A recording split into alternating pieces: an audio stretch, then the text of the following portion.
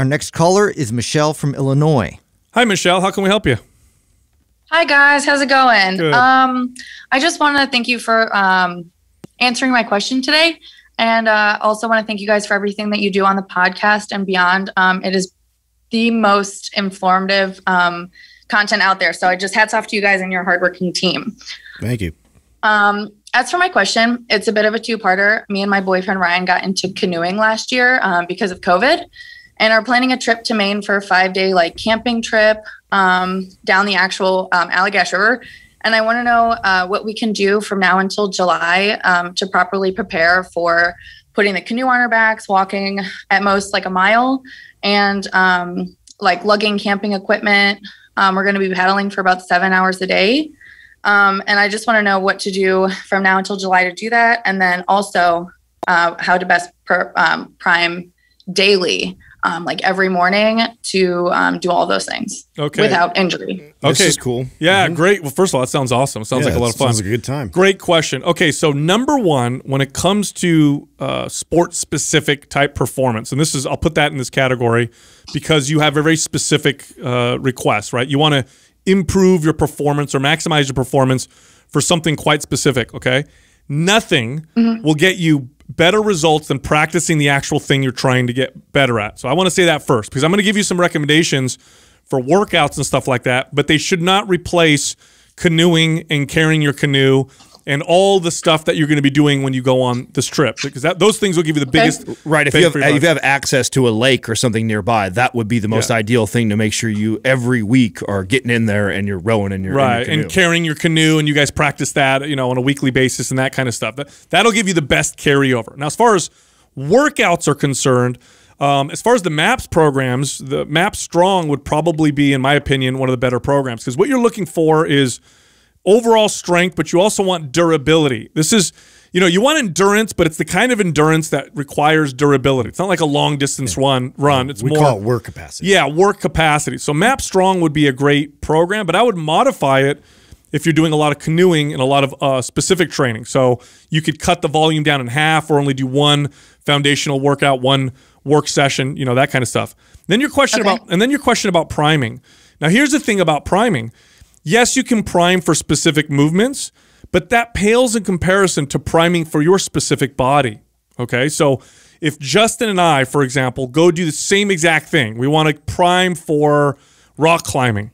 That we could do rock climbing priming movements, and I'm sure it would involve something with the shoulders and probably something that has to do with the wrists and all that stuff. But really, that's not going to be as effective as us assessing ourselves and then priming our bodies for what we specifically need. For example, I may have uh, worse shoulder mobility than Justin, or maybe he has hip mobility issues.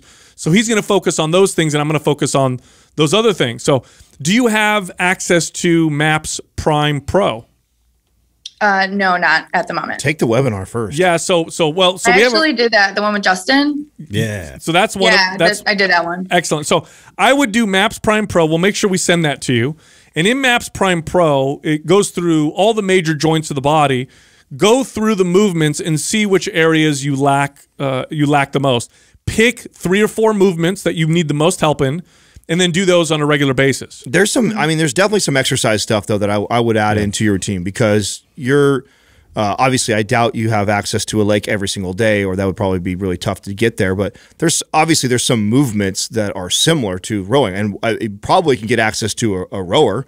I think a rower would be a, a great piece of equipment, and whatever the duration is that you would end up probably canoeing for, I would be doing a row a row for.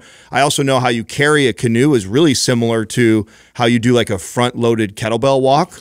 Yes. So, and I know Justin loves those. Overhead carries. Yeah, I was going to say that, and this would go perfectly with Sal's recommendation for strong on those days of building up your work capacity with heavy farmer walks and also like overhead carries. So you would you would hold these in position and really learn how to you know depress your shoulder blades down and really like pack your shoulders so you have nice stability there with an overhead position, uh, and and just build up that endurance while carrying something overhead is would be massively beneficial. Yeah. And then lastly, I would say do some good windmills. That's going to really work on that that stability of the shoulder, but also that rotational stability and strength that you're going to need. I mean, carrying an awkward, uh, you know, object overhead. You're not walking on flat surface. You're going to be climbing over things and whatnot.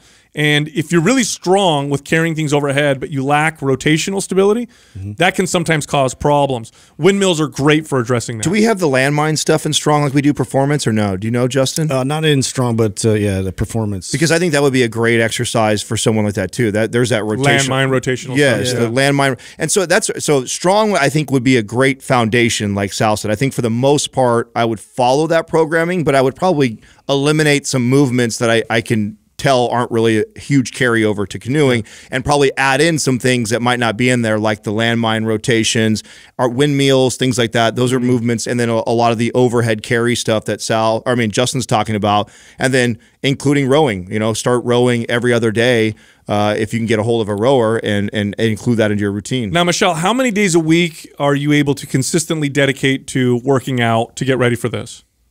Uh, I already work out about three days a week. Um, I go to like I go to Planet Fitness. It's the only thing open by me right now. Okay. Um, so yeah, I definitely I can dedicate five at this point. Okay. Okay. So avoid the free pizza there. That's a trap. Yeah, they don't do that anymore. Oh, okay. I was going to say that doesn't Oh, that's help. not a thing anymore? Oh, probably because of COVID. COVID. Yeah. You don't want to get the. You don't Damn, want what are they doing instead now? Huh? Uh, so many Nothing. memberships. they Free just free lost face that. mask, dig- maybe digital pizza. digital E- pizza. email you a slide. All right. So here. So here's what I'll say. Okay. So you said you work out three. You said you can work out five. Let's go in the middle. Let's say four. Okay. Okay. Four days a week. Here's what I would. Here's a general routine that I would set you up with. Three days a week should be should be specific to what you're going to be experiencing on this trip.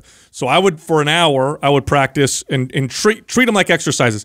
Carrying the canoe, uh, hiking. I would actually go and canoe somewhere or use a rower, like Adam said. So that's three days a week.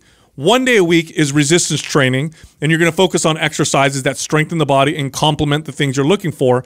And then every day, I would do priming, about you know two maybe two 10 minute sessions, one in the morning and one at night, something like that, where you're focusing on the areas that you need to focus on. Generally speaking, that'll probably give you the best bang for your buck. Awesome. I like that. Awesome guys. Well, I think thank you so much. I really appreciate it. Appreciate Nope. all of you all, all that you guys what you guys do. No problem. Appreciate and I the hope- Have support. fun with that. I hope you have a great time. Oh yeah, thanks guys. No problem. Yeah, one of the biggest uh, mistakes I made as an er- young trainer was taking athletes uh, and training and thinking that that the gym or stuff I could do with exercises. You just mimic all the movements. yeah, and it was better than working out on the field. I mean, the reality is, i- if you want to get better at a sport or a particular skill, Wasn't that- practice You just get that. overall stronger and you know more endurance. Yes. Wasn't that a common mistake that happened when MMA started getting really popular because it, it was so diverse and CrossFit was so diverse? They were having like a lot of like coaches were just like having these guys just do CrossFit routines for their training for MMA. Yeah, that was a mistake. A lot of people, and a lot of people make this. uh, People who like to work out, who then, you know, sign up for a new sport. I did this with jujitsu when I first did jujitsu. I thought, okay, yeah. uh, I want to get better at jujitsu, my my endurance. So I'm going to do these kind of workouts.